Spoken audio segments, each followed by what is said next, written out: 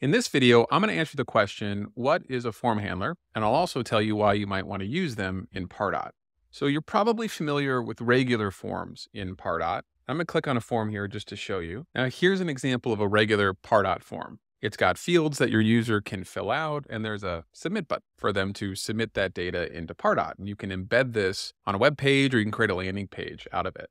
Well, a form handler captures the same data. It gets those field values, but there's no user interface. You can't actually see the form like we can see this one, and there's no submit button for the user to press.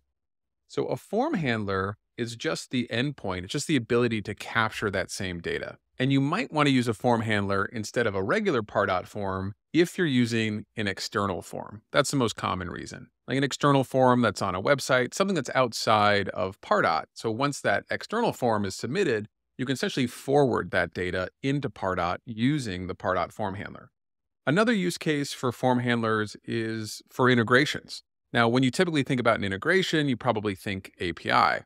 And a form handler is like a very limited API because you can actually post or submit data directly into the Pardot database using a form handler. Just like when you submit a form, that data comes in, you can do the same thing with a form handler here. So let's talk a little bit about how it works. A form handler has an endpoint URL, and at that endpoint, it's listening for those field values to capture and bring into Pardot. Then once that form is submitted, it captures that data, it's able to do all the normal form things you're used to through completion actions, like add someone to a list or send them an email.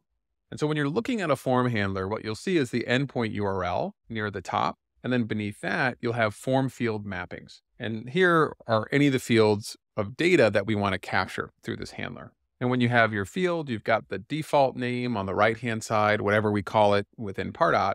And then on the left-hand side, you have the external field name.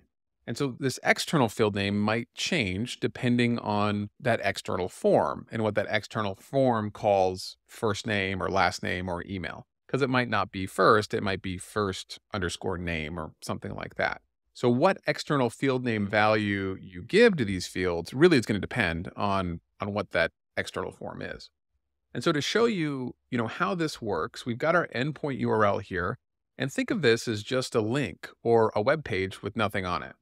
So you'll redirect your user when they submit that button or that form on your website, you'll redirect them to this URL. And then this form handler is going to be looking for the data that it's trying to capture through something called URL parameters. So I'm going to copy this endpoint URL. I'm going to put this endpoint URL in the URL bar up here, and I'm going to add the parameters to the end. So the way that you add parameters to the end of URL is you start with a question mark, and then you're going to add your field value pairs. So our first one is typically going to be email. And so that is the external field name called email. And then I'll put in the actual value, which in my case would be brian at rotive.io. But this would be the email address of whoever had submitted that form. With an ampersand, you can add another field value pair.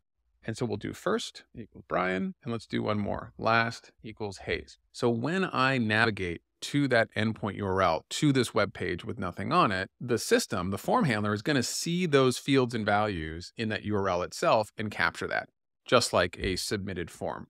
And then the last thing it's going to do is it's going to redirect me. So once it captures the data, it's going to forward me on to the thank you page that I set, or it's going to send me back to wherever I came from.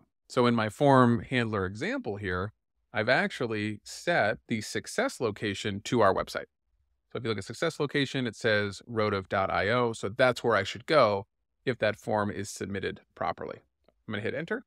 You didn't even see that form handler page load because there's really nothing there. As soon as it loads, it's redirecting you to that thank you page. And that's where we're at here now at rotive.io. What I found the best way to understand form handlers is, is to think of it as a form without an interface. There's no buttons to click but it still acts like a form. So you're able to redirect people from other forms or other locations. And as long as you have those fields and values in the URL, it's going to capture that data so that you can use it within Pardot. Now, if you'd like to learn how to build out a form handler step by step and actually use it with an external form, take a look at our next video where I do just that with a WordPress Elementor form. And if you want to learn how to use Pardot faster, take a look at one of our courses at academy.rotive.io. Thanks for watching.